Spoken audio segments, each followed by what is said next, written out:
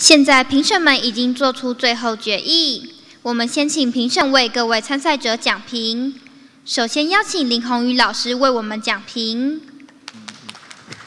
嘿，嘿，Hello，大家好，啊，我是宏宇。那今天很开心看到蛮多这高中生的活力这样子。然后，其实我也要先夸奖你们一件事情，其实昨天有比大学的团体组，然后那时候比大学团体组的时候，我跟呃评审老师就一直有想法说，今天的。大部分是呃高中生，你们是有组团一起来比赛嘛？然后其实昨天的团体组，你们比较厉害，对，你们的团体组比较厉害。那讲到团体，呃，就要就要讲一下，就是团体会有一些缺点这样子。呃，第一个就是你们可能会有两把吉他，那两把吉他的时候，呃，如果都是刷扣做同一件事情的时候。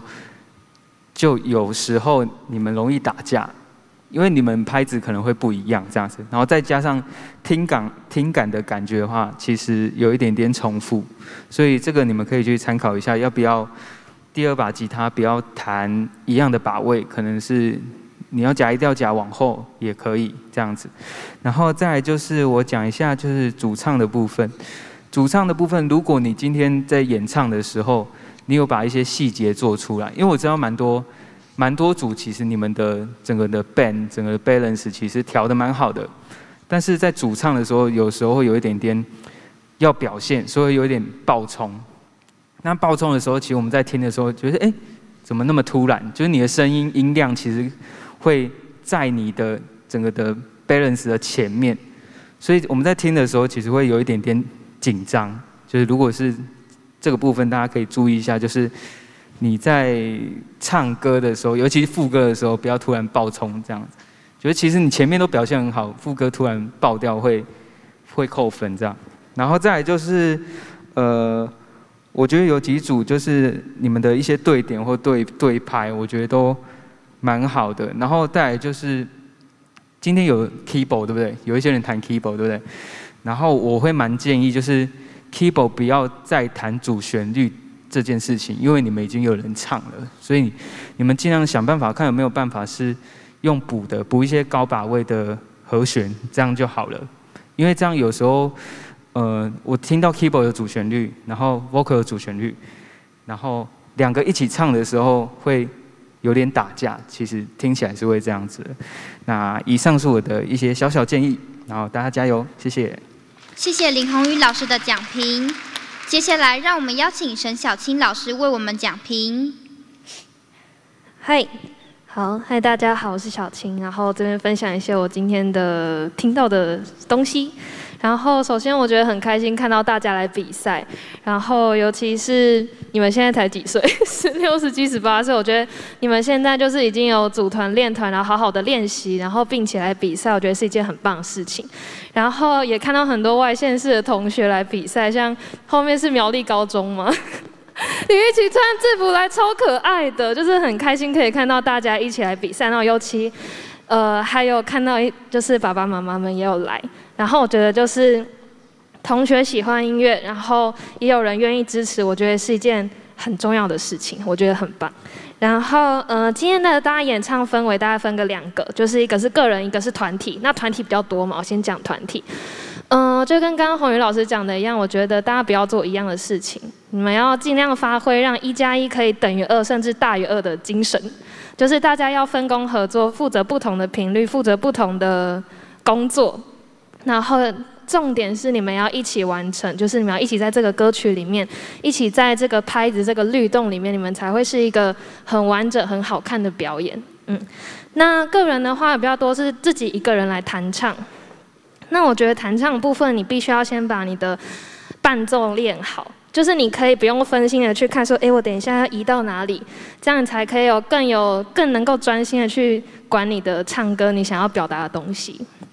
好，然后对我看一下，我刚刚写很多小抄，然后就是哦，我刚刚说那个不要看的原因啊，是因为你就是因为你弹唱，你麦克风一定是假买假，它是固定的，然后你一看的时候，你就会这样子。然后又回来，然后唱歌，然后这样子，其实听的感觉就会忽远忽近，然后会蛮影响听的感受。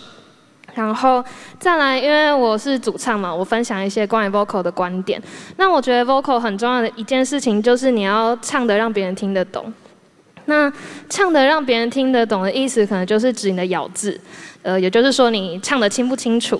那我觉得今天比较多观察到的是，你们可能进歌的第一句，呃，应该说这一句的前几个字都进得很好，唱得很 OK，然后就到尾巴的时候，你们可能会想要想，你们可能脑袋在想说，哦，我下一句要唱什么，但反而就忽略掉了尾巴，就是也是很重要的一部分，有一点可惜。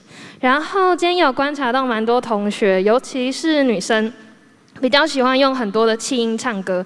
我觉得没有不好，我觉得就是每一个呃唱歌的方式，我觉得都没有错。就你不要受伤，你不要不舒服就好了。可是你如果用很多气音的时候啊，你的音准会比较容易飘。所以你如果是气音比较多的同学，你真的要好好的注意，然后可以回去看你的回放啊，或是你平常在家练习的时候都可以呃录音起来听这样。好。然后最后就是讲那么多，还是就是觉得你们今天真的很棒。然后我觉得除了晋级啊得奖之外，我觉得更重要的是你们在这个阶段能够获得这样的经验，我觉得是一件很棒的事情。好，谢谢。谢谢陈小琴老师的讲评。接下来让我们邀请蔡迅阳老师为我们讲评。嗨嗨嗨！大家好，我是训阳，然后很开心看到这么多同学喜欢音乐，喜欢吉他。那我从乐手的角度来和大家分享一些，呃。在乐手在舞台上需要注意的事情。那今天有蛮多，因为大家应该都是可能是吉他社吧，社团，所以认识的一些伙伴。那吉他社很可能都会是大家会请那些比较不弹吉他同学去打卡。但事实上，在一个乐团里面最重要的稳固一个音乐的基底，其实就是鼓手。那鼓手的拍子稳不稳，就会决定大家的结构能不能很稳固。所以，呃。你们可能在各自对各自的乐器都还没有办法掌握的很熟悉的时候，你们会太专注在弹自己的乐器上面。但事实上，上了舞台以后，包括这些监听啊、音响要怎么设置，事实上你是应该要很清楚的听到你的伙伴在做什么，而不是很清楚听到自己的乐器的声音。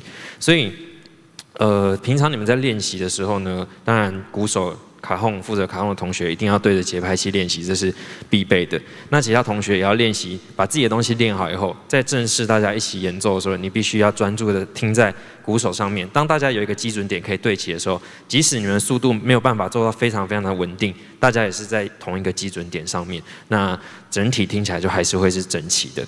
所以，呃，这是比较大的编制，就是乐手比较多的情况下，你可以这样子参考。那。比较少的时候呢，就是例如说你可能只有一两把吉他，我觉得怎么样分配你的频率就很重要，或者是分配你右手弹的东西。像一开始吉他社可能会学一些简单的指法或刷法，但是你可以去思考一个点，就是呃，你并不一定要照着那些参考的指法或刷法来编排你的吉他。今天如果你演唱的东西它是字数比较多的，然后旋律比较密集的，你可以选择用刷的或是比较宽的方式来当做你的。基底。那如果说今天呢，你的唱的音都是比较长的话呢，你吉他就可以用一些比较细碎的分散和弦，让伴奏跟你的演唱可以互相做一个对应。那他们音乐整体听起来就会比较完整。所以呃，可能高中的同学对于编曲的概念还没有办法很完整，但是可以从这些点上面去做参考，然后慢慢提升自己的音乐的丰富的程度。嗯，演唱的部分，前面两位老师是专业，但是我也想建议每一位歌手，就是今天我们比较容易听得出来，你们平常都是喜欢听什么样的音乐，或者是可能固定是听某几位歌手的歌，那你可能不知不觉中就会被影响，在你的咬字或者是语气，或者是你尾音收的方式，都会很像你的偶像。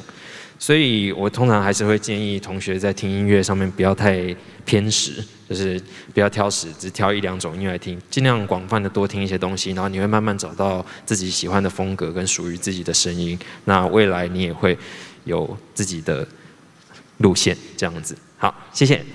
谢谢蔡勋阳老师的讲评，感谢各位老师的讲评。接下来公布高中演唱组入围的有。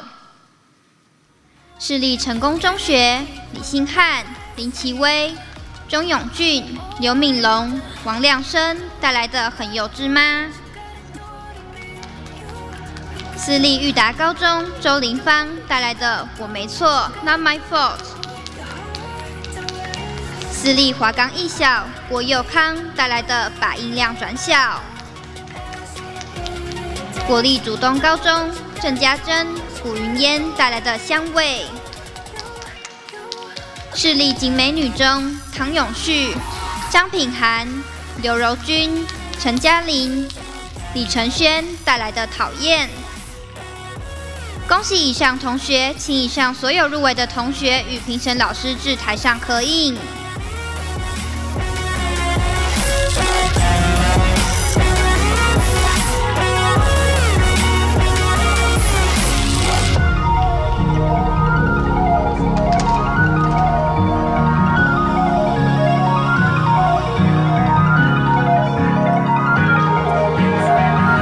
请入围者尽快至台上与评审老师做合影。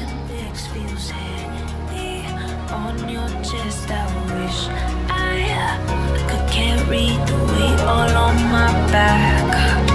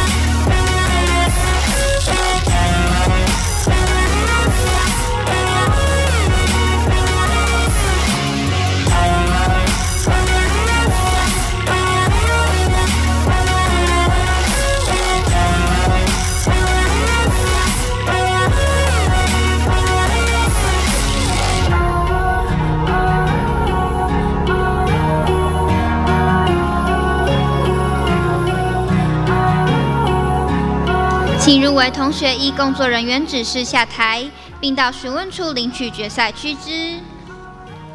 有需要查看成绩的参赛者，我们已经将初赛评语及入围名单张贴于检录处旁，提醒参赛者不要私下带走。此外，赤前奖将在初赛结束后举办举办 YouTube 人气奖比赛，获得最高观看次数的组别将会获得海国乐器所提供的 Abnes Advanced Acoustic 型号 AAD 一百民谣吉他。入围决赛的同学，到时候记得关注粉丝专业。下一个组别高中演奏组将会在下午五点开始，请大家不要忘记回到会场，为我们的参赛者加油打气。